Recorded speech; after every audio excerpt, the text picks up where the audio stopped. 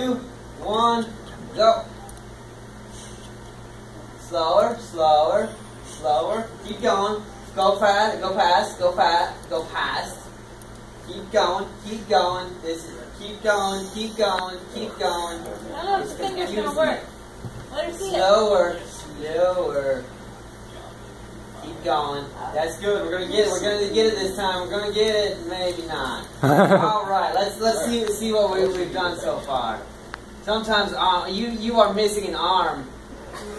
All There's right. two faces. All right. Two very distinct faces. Two very distinct faces. See, sometimes it, it can't pick things up right right away, sometimes it gets confused. So, you want to try it again? All right. Now, start stand there and face that way start. There you go. You ready? Three, two, one, go. Keep going. Keep going. Keep going. Oh, we're gonna get it this time. We're gonna get it. Yeah, look at this. Look at this. And we spin, and look at that. And that's all it takes to get to get a digital scan of someone in, in the computer. Now, there's one last thing that I want you to do. Can you come over here and type your name in the computer? No, jeez. My hedgehog stopped.